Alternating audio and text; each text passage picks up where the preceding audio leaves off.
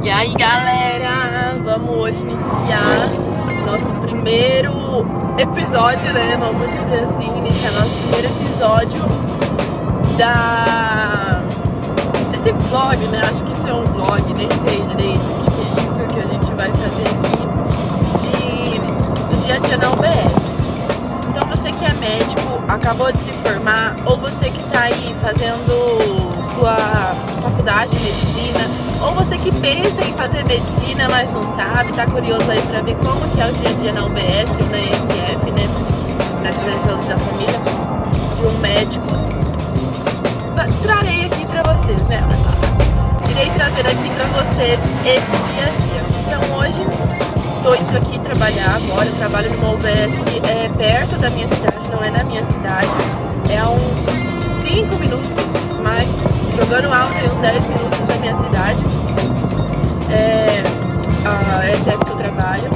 E é um lugar muito bom lá, porque tem eu e outro clínico e também tem pediatra e ginecologista obstetra.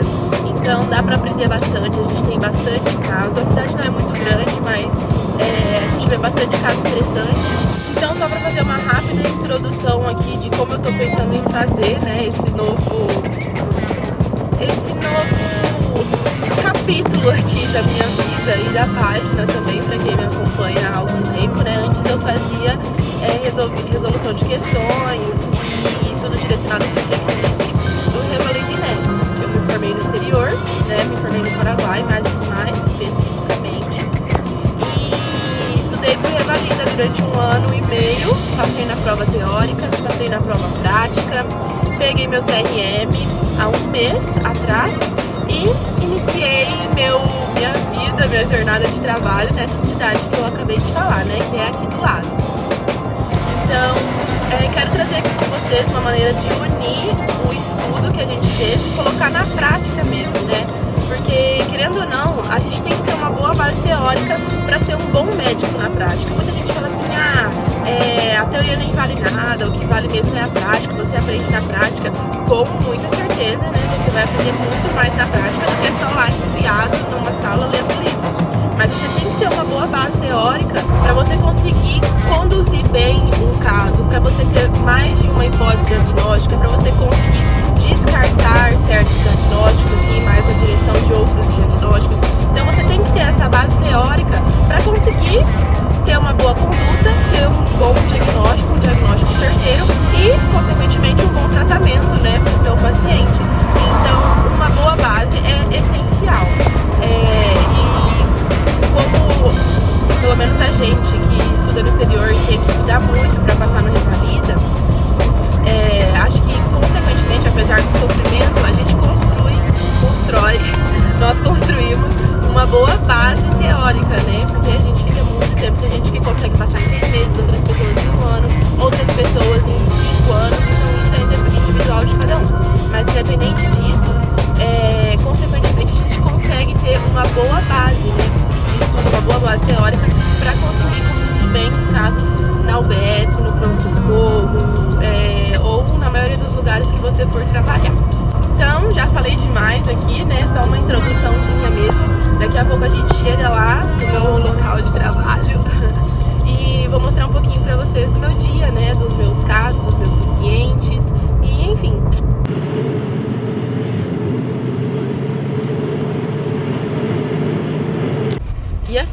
só para pontuar aqui, claro que eu não vou poder mostrar os pacientes, né? Não vou poder mostrar a consulta.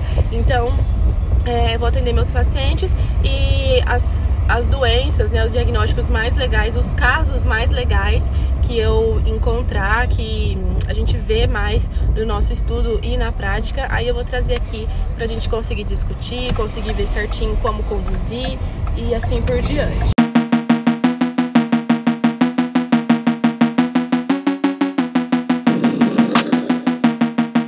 Três horas depois. E aí, gente, tive uma folga agora, terminei meus pacientes da manhã. É, aqui eu atendo em média de 14 a 16 pacientes na parte da manhã e de 14 a 16 pacientes na parte da tarde. 16 geralmente é o máximo dos pacientes que eu atendo.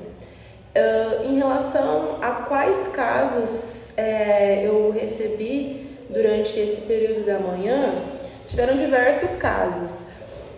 É, os principais que bateram recorde hoje foi dor no joelho e dor no ombro. Gente, não só hoje, como todos os dias, sempre chega paciente com dor na articulação do ombro e com dor na articulação do joelho. Sempre, sempre, sempre. Quando tem um dia que eu não recebo alguma dessas duas queixas, tem alguma coisa estranha, tem alguma coisa errada.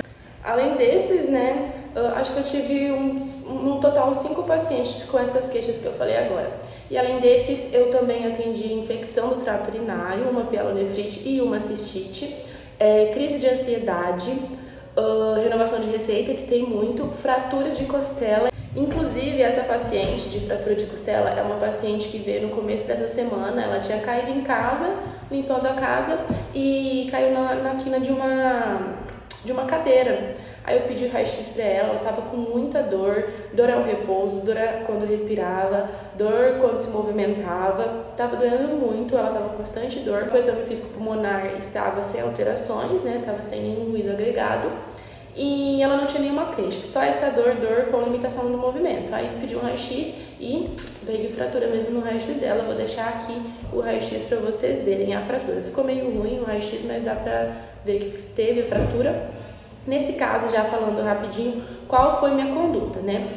Depois da anamnese, do exame físico, de ver o raio-x e de definir minha hipótese diagnóstica, ou melhor, meu diagnóstico, né, já precisa de fratura de costela. Aqui a gente faz encaminha, o encaminhamento, né, para o ortopedista. É, deixei um comprimido para ela, dei uma injeção aqui de analgésico, anti-inflamatório e deixei um comprimido para ela tomar em casa para dor até ela conseguir consulta com o ortopedista. Agora, em relação. É, uma outra coisa também muito frequente, acho que vale a pena a gente conversar aqui sobre os casos de hoje. Hoje eu não peguei nenhum caso muito complexo, nem nada assim, foram casos bem simples, casos de dia a dia mesmo. E em relação, fazendo a ligação com a prova, seja de revalidação, seja de residência, toda prova vai ter alguma questão de cistite, de pielonefrite e toda semana, não vou dizer todo dia, mas toda semana na UBS, depois que você começar a trabalhar, você vai pegar muito frequentemente casos de pielonefrite ou de, de cistite, né? Muito comum. Aqui eu peguei uma paciente, ela não veio se queixando dos sintomas. Hoje foi um pouco diferente porque ela veio com um resultado de infecção, né, de mais de 100 unidades formadoras de coluna de etilite coli e tinha os sintomas de ardência, de, de súria, né, de urgência urinária e ela ia fazer uma cirurgia da catarata. Aí ela fez esses exames de rotina e o médico brecou ela, falou: "Não, não dá para você fazer a cirurgia até você tratar essa infecção". E aí mandou ela voltar aqui no posto pra gente fazer o tratamento e posteriormente ela voltar é, para fazer a cirurgia dela, né? Então, hoje o manejo da infecção foi um pouco diferente, né? O diagnóstico, na verdade, ela já veio com o exame pronto, mas na maioria das vezes não é assim que acontece. Então, nesse caso, hoje não precisei muita anamnese, muito exame físico, né? Já que ela já veio com tratamento pronto, com, desculpa, já veio com o exame prontinho, né? Já veio com tudo certo, então só instituir mesmo o tratamento. Eu tratei ela com ciprofloxacino cada 12 horas por 7 dias e pirídio, que é um anestésico, né, para acalmar a ardência das, da, da urina nessas pacientes que têm infecção. Mas normalmente os pacientes que chegam pra gente com infecção de urina, eles vão chegar se queixando dos sintomas, né? Vamos falar que tem ardência ao urinar, né? A dissúria, é, pode ser uma ardência há alguns dias, pode ser que começou naquele dia, depende muito de cada paciente. Urgência urinária, aquele paciente que tem muita vontade de fazer xixi todo momento, mas vai lá no banheiro, só faz um pouquinho de xixi. É, diminuição da micção, né, esse pouquinho de xixi, e aumento da frequência de idas no banheiro. Não tem febre, não tem dor de ordano positivo, né, não tem dor a, per, a punho percussão. Então aí vai ser a cistite. Os pacientes que apresentam febre e apresentam dor a punho percussão, aí já vai ser pielonefrite, já vai ser um outro diagnóstico, porém o tratamento é basicamente o mesmo, pode ser instituído o mesmo tratamento para um quanto para outro. É, a pielonefrite, em alguns casos, a gente interna nos casos mais graves e no, em outros que o paciente não está tão grave, a gente pode fazer tratamento ambulatorial. Já que a gente começou a falar de infecção urinária aqui, vou falar, vou contar um conto aqui de um no outro dia, não foi hoje que aconteceu, de uma paciente, uma não, na verdade aconteceu várias vezes isso, o paciente já chegar e lá na triagem falar tem infecção de urina, só vou constar porque eu quero o remédio. Aí chega aqui, Muitas vezes o paciente realmente tem todos os sintomas da infecção, a urgência, a ardência, é, mas em uma outra parte dos pacientes não tem nenhum sintoma da infecção e chega já dando o diagnóstico e falando qual o tratamento que a gente deve dar para ele. Isso não só infecção, em várias outras doenças, né?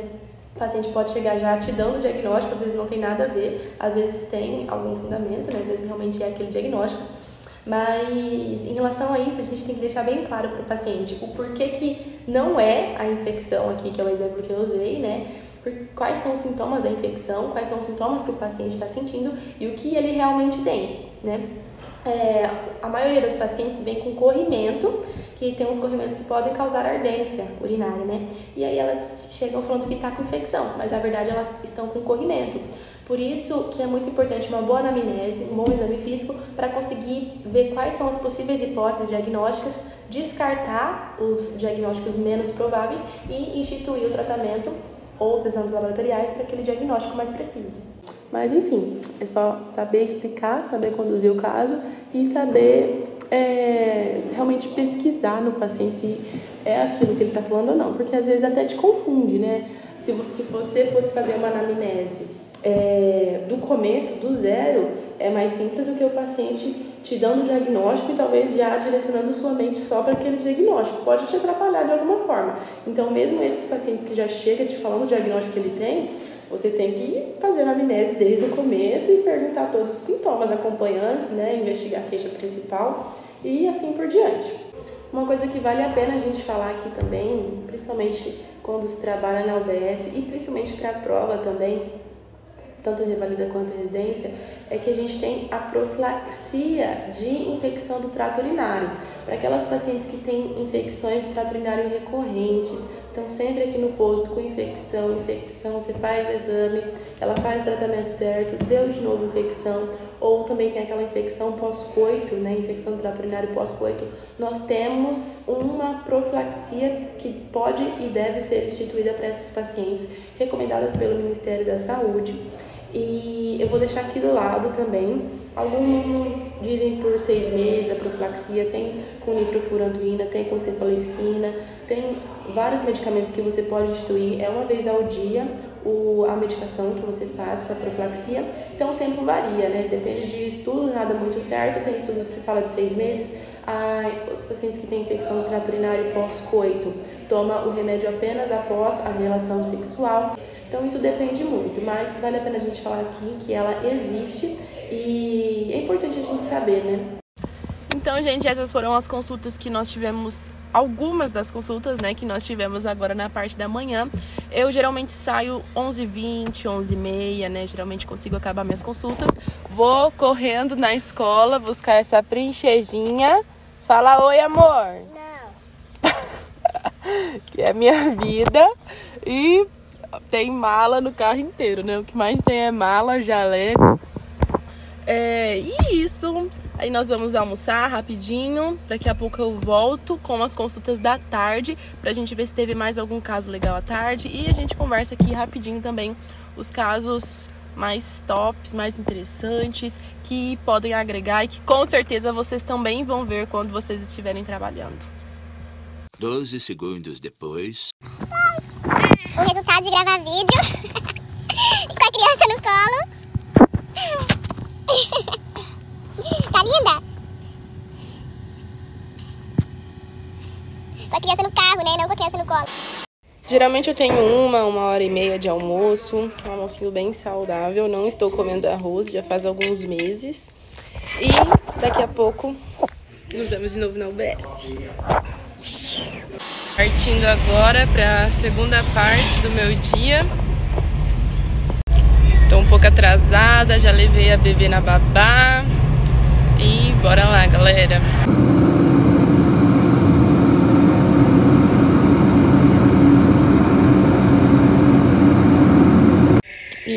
cheguei. Aqui é meu consultório, bem bonitinho. Nem liguei o computador ainda. E bora lá atender mais alguns pacientes, galera. Três horas depois. Outros dois casos que eu peguei agora na parte da tarde e que é muito frequente, todo dia você vai ter algum caso como esse, é de pico hipertensivo. Crise de, de pressão arterial alta, né? Um paciente chega aqui com a pressão, sei lá, 200 por 100, 190 por 90. Então, é muito frequente isso na unidade básica de saúde e na UPA também. Mas como aqui a gente está conversando sobre a UBS, né? Hoje nosso vlog aqui, nossa conversa é em relação ao UBS. É, vou conversar um pouquinho do caso que eu recebi hoje. Era um paciente jovem, 45, 49 anos, alguma coisa assim, não lembro bem, sexo masculino, que veio há um tempo atrás, há, um, há umas duas semanas atrás, com a pressão 190 por 90. Eu avaliei ele, fiz anamnese, fiz exame físico, perguntei sobre a rotina dele, hábitos alimentares. É, ele falou que ele não, nunca tinha tido diagnóstico de hipertensão arterial, ele não tinha nenhuma outra doença agregada, né, já diagnosticada, e ele queria saber se ele realmente tem pressão, se ele é hipertenso, na verdade, né? Ele não estava com dor de cabeça, com vômito, com nenhum outro sintoma, só com, esse, com essa pressão lá em cima mesmo. Aí na semana passada, né, quando ele veio com essa pressão super alta, é, eu pedi para ele fazer o mapinha da pressão arterial é, por cinco dias na casa dele, medir uma vez por dia durante cinco dias, sem tomar nenhuma medicação para pressão. Aí ele fez e trouxe hoje, agora aqui na parte da tarde para mim é, todos, todas as medidas, na verdade tinha uma medida só que estava 13 por 9, o resto estava tudo acima de 15 por 9, 150 por 90 milímetros de mercúrio. Então, para esse paciente, é, ele já tinha indicação de iniciar o antipertensivo, né? E junto com, a, com, com educação alimentar, com mudança de estilo de vida, redução de peso, alimentação, diminuir o sal da dieta, diminuir a quantidade de álcool e assim por diante. Pedi outros exames laboratoriais também de colesterol, glicemia em jejum, estavam todos normais. Só mesmo a pressão dele que estava um pouco aumentada. Eu já iniciei com um antipertensivo, iniciei com losartana, 50mg, uma vez ao dia, de manhã, e junto com a mudança de estilo de vida para ele controlando. Lembrando aqui que teve atualização nas diretrizes do manejo e diagnóstico dos pacientes hipertensos. Quando iniciar com uma, duas medicações, já tem um vídeo postado sobre isso, vale a pena dar uma olhadinha e ficar bem atualizado. Outro caso que eu tive aqui também hoje, que foi de diagnóstico e tratamento, foi de um paciente com uma paciente com enxaqueca. Era uma paciente jovem. Ai, minha blusa. Era uma paciente jovem, ela tinha o que? Acho que uns 30 anos, alguma coisa assim, e ela estava tendo muita dor de cabeça. Fui investigar a dor de cabeça dela, uma dor unilateral, pulsátil, de moderada intensidade, que já estava durando aí, acho que dois dias aquela dor, com melhora parcial a analgésicos, ela tinha tomado de pirona, não tinha melhorado. A pressão dela estava normal, ela não estava em época de período menstrual, que às vezes pode dar dor de cabeça nas mulheres, né? Ela não tinha nenhuma outra doença agregada e ela já teve várias outras vezes episódios dessa dor. Ela também já tinha feito um raio-x há um tempo atrás dos rios da face e disse que ela não tinha sinusite. Então, foi uma paciente que eu consegui diagnosticar a partir daqueles critérios que a gente tem de A a E. Vou deixar aqui para relembrar vocês. É sobre a enxaqueca, né? O diagnóstico clínico da enxaqueca. A gente não precisa de nenhum exame adicional, o diagnóstico é clínico e o tratamento é com analgésicos, né? AINES. E essa paciente já disse que teve várias outras vezes durante esses últimos meses essa dor, esse tipo de dor, é, que ela já fez alguns outros exames, todos deram negativos. E, e aí eu falei que ela realmente tinha enxaqueca, né? Dei o diagnóstico a partir dos critérios clínicos. E tem aqui eu vou deixar também as indicações de profilaxia para os pacientes que têm enxaqueca, né? Os pacientes que têm a partir de duas crises no último mês já têm indicação formal de profilaxia para enxaqueca. enxaqueca. Ah, a enxaqueca dela não tinha aura, isso acho que eu não falei, né? Era só a dor mesmo. Para ela, não coloquei a profilaxia, eu só dei o tratamento aqui, dei uma, uma medicação intravenosa e dei analgésicos anti-inflamatório para ela tomar em casa. E falei se a dor não estivesse melhorando ou se ela tivesse muitos episódios assim um atrás do outro para ela voltar e falei da profilaxia para enxaqueca, né? Falei que tinha essa medicação que ela podia tomar todos os dias para prevenir que as dores surgissem. Então esse foi um outro caso muito frequente na prova, muito muito frequente Saber os critérios é muito importante da enxaqueca no adulto. A criança também tem os mesmos critérios, o que muda é o tempo da dor, que em vez de 4 a 72 na criança, é de 1 a 72 horas. Então, são temas muito frequentes na vida, na UBS, na UPA, na prova, na faculdade. Então, é um tema muito recorrente em enxaqueca também, com e sem aula. E além desses pacientes, né, que a gente conversou aqui, é, o resto foi tudo ou virose ou tosse. O que não era virose era tosse, o que não era tosse era virose. Então teve muito isso hoje, paciente com diarreia, é, com vômito, com inapetência, com não conseguia comer nada que já vomitava, é, criança principalmente, né? Hoje a pediatra não veio, então eu atendi outras, algumas crianças, uh, a maioria com tosse e virose. Do mais, os outros casos um pouco mais diferentes foram esses que a gente já conversou aqui. Mas é isso, gente. O BS é isso. São casos assim, mais da que a gente tem que saber sim ou sim, né? Um caso da vida mesmo. Que com certeza você vai receber mais de um paciente na semana com aquela queixa, com aqueles sintomas, porque são coisas muito recorrentes, são coisas muito frequentes para a vida e para a prova. Então a gente tem que ter pelo menos o básico do básico na ponta da língua. Tenho certeza que você tem, né? Você que está aí já se formando, que acabou de se formar, que está inseguro para começar a trabalhar. Então não fique inseguro. Acredite em você, acredite no seu potencial, acredite no seu no que você estudou na sua base teórica e vai, só vai que o resto a prática vai te dar, a experiência, o dia a dia vai te dar. Do mais foram coisas mais básicas, né, que não vale muito a pena ficar postergando aqui o tempo do vídeo, vocês já devem estar cansados de ver eu falando também. E é isso, gente. O resto foi tudo sorinho na veia, antiemético, analgésico, antitérmico para casa, para tomar aqui. E é isso. Terminamos nosso dia hoje, terminamos nossas consultas da tarde. Hoje foi um dia cansativo. Agora eu vou para academia. E é isso. E eu já trago meu whey. Tô parecendo uma pipoqueira, esqueci de tirar meu jaleco pra ir até o carro. Eu já trago meu suplementinho aqui pra ir direto pra academia. E assim é o dia de uma recém-formada, recém-revalidada, trabalhando.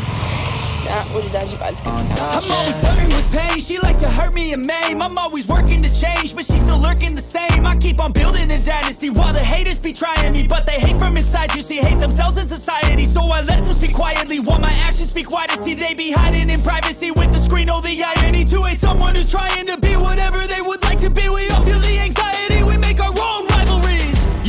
so where is all the positivity? I feel like we all just hate on everything, it's killing me. Thoughts build quick, causing different possibilities. Negative thoughts will cause different disabilities. So do better, work hard under pressure. If you got no time, work smarter than ever. Don't ever let them tell you that you can't ever say never. And turn your mind into the truest of go-getters Never stop, I'll get it if I want it.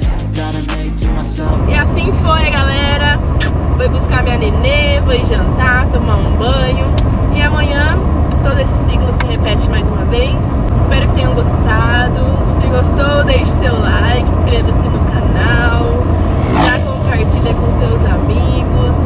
É, isso aqui foi só mais uma maneira diferente da gente é, conversar aqui no canal, né? Mostrar um pouco do meu dia para quem já me acompanha há algum tempo ou para quem tem curiosidade de saber como é que funciona o dia a dia na unidade básica de saúde, né? Ou estratégia de saúde da família. E é isso. Tchauzinho.